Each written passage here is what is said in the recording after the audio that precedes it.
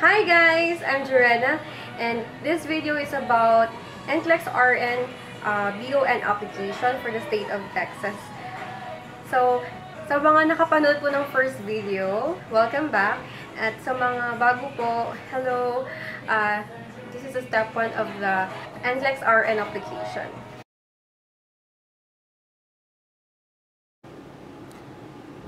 Just type, uh, hindi ko makita yung part. And, go to their website. This is their official website. So, lahat po ng information, questions niyo po, nandito po sa website. If you take time to browse and read, nandito po lahat. Uh, forms, go to graduates and NCLEX examination. And uh, RN graduates, application by NCLEX RN examination for registered nurses. This one. Just click and this is the form that you need. You can print all these forms and if you have time, you can read all of this. Konti lang naman po siya. So, ang pinaka-importante po dito ang first three pages. One, two, and this page number 3. Kasi ito po yung kailangan natin para sa application, to start the application. So guys, uh, mag-fill in na tayo. Actually, PDF ready na siya. So, before niyo siya i-print, mas maganda na i-fill in na yung data. Ako, mas preferred ko na naka-caps lock para mas kitang-kita nila. Then, middle name.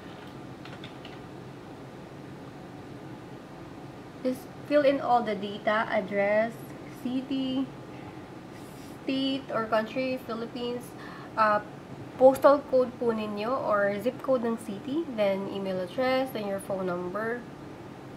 Since nasa Pinas po is 631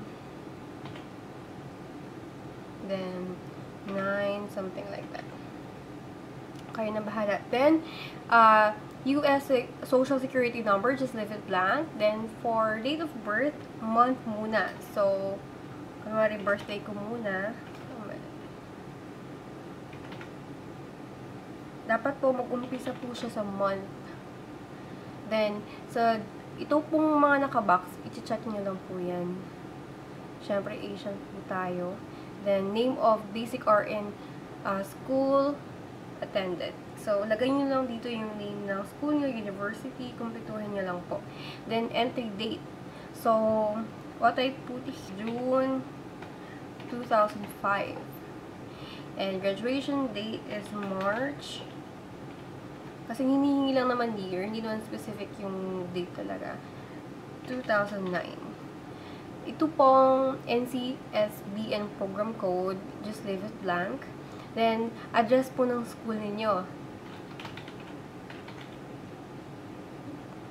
Davao City, Davao del Norte, Philippines. Then, dito po sa type of uh, basic or education program, check yun lang po. Kasi sa Philippines, lahat naman tayo bachelor degree kasi 4 years.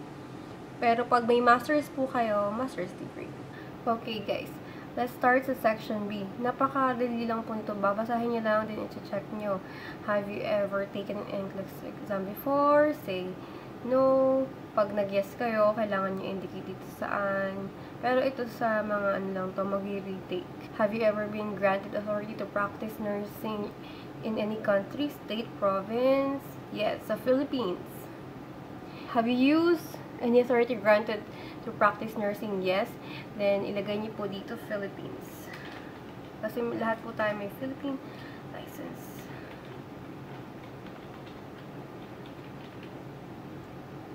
Then, last practice po. Pwede niyo po ilagay current month or kung kailan kayo last nag-practice ng license niyo. Number 4, have you practiced nursing by using your nursing school abilities in past 4 years. So, check yun lang po yung... Okay, okay. So, section C na tayo. Ito yung eligibility questions about um, kung may mga records kayo, kung meron kayong mga kaso, felony, uh, drug records, alcohol records. So, you need to answer it honestly. So, basahin nyo lang, then click no pag wala naman. And number two, um, subject to grand jury or governmental agency investigation, has any licensing authority refuse or revoke, kung ma-revoke ba yung license. And then, in past five years, have you been diagnosed or treated or hospitalized with schizophrenia or uh, psychotic disorders, bipolar? And number five, within past five years, have you been addicted to alcohol or any other drugs? Okay, and when you print this form, don't forget to put your signature in here. Yung date, pwede nyo na lang din ilagay yung date. Unahin niyo po yung month. Una po lagi yung month, ha? And then dito, type na rin yung name nyo.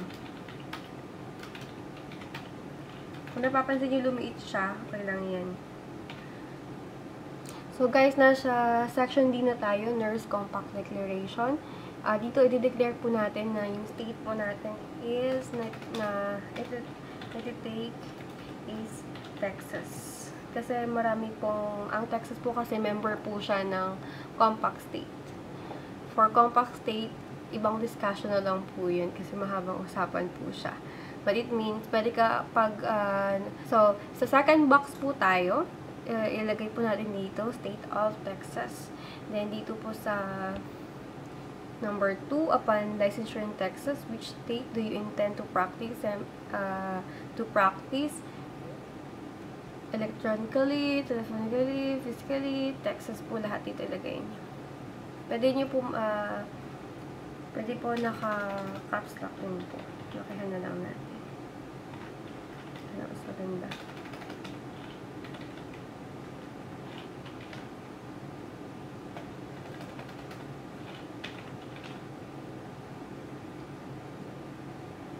Okay. Then, last, yung date. Kung ayaw po mag, mag ano dito ng date, hayaan nyo siya. Pwede naman isulat. Kasi pipirmahan din naman na dito. Guys, uh, pag ipapasa nyo na itong first three pages, huwag nyo pong kalimutan yung signature nyo po dito. Applicant signature, applicant signature dito, applicant signature. So guys, after nyo ma-print yung application na na-fill in nyo na ng data nyo, uh, first three pages, huwag nyo po kalimutang mag-sign sa applicant signature. Marami pong nakakalimot dito. Dito po siya sa end. Actually, three pages po siya na kailangan i-sign. Once na-sign nyo na na kompleto na to, uh, ilagay nyo po sa envelope with bank draft and i-mail nyo po sa Texas BON. So guys, bank draft worth $100. Kung nasa Pilipinas po kayo, pwede po kayo magpagawa sa BPI or Land Bank. Kahit wala po kayong dollar account, gumagawa po sila. Huwag po kayong magtataka kung, baka, kung yung iba nagtatanong, hindi yung pangalan nila nasa, nasa bank draft. Okay lang po yun. Dapat talaga nakapangalan yun sa Texas BON. Then, yung bank draft na yun, ibibigay nila sa'yo, i-attach mo ito sa application mo, lalagay mo sa envelope, and ipapadala mo po by mail. So, kayo na mamimili FedEx, LBC, DHL, DHL, kayo na po mamimili doon. After nyo mapadala yung application nyo, matatrack nyo naman kung na-receive na nila. Pag nakita nyo na-receive na nila yung application nyo, uh, give BON 9 days. Then, after 9 days, go to their website, then check your application status. Same lang po. Punta po kayo sa website nila, check application status, and then put your name, your last name, your birthday, then uh, click the RN and flex. Then makikita niyo po yung details niyo doon. Makikita niyo po sa example, uh, pag naka-red po, ibig sabihin hindi niyo pa nakakomply yon. Pag hindi na siya naka-red, means okay na, na-receive na nila yung requirement na yon and nakalagay yung date of completion. Mapapansin nyo po sa verification of license, may date sa gilid. Kasi, ang validation of license po is may expiration. One year lang po siya. And this one, guys, BON application also expires. You have one year to take exam. So, pag, if ever na-delay, may nangyari na delay kayo, um, hindi kayo nakapag-exam within a year, don't worry. Do the same process. Fill in po yung 3 pages ulit. And magbabayad po ulit kayo ng $100 through bank draft po. So, same process lang. Guys, take note. BON application and validation of license, one year po sila.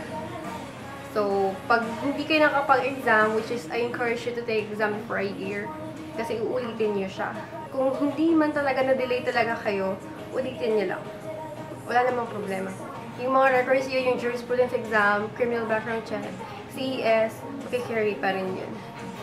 Additional lang guys, kasi marami nagtatanong kung kailangan ba, okay lang ba mag-take ng exam without experience. Actually, sa uh, Texas NCLEX, they don't need experience. Kahit fresh graduate, pwede po kayong mag-take ng exam.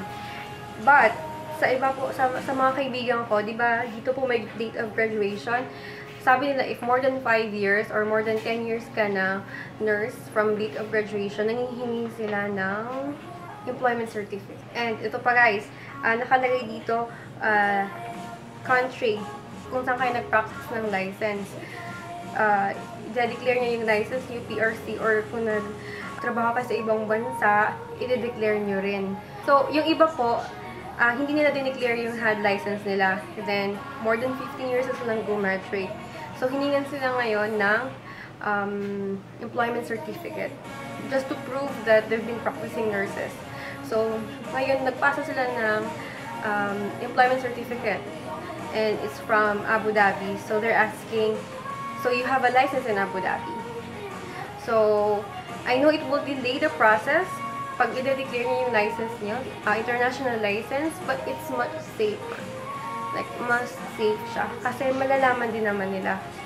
Uh, especially if more than 10 years or 15 years ka nang graduate. That's all, guys. Sana may nakuha kayo or may nalearn kayo. Thank you!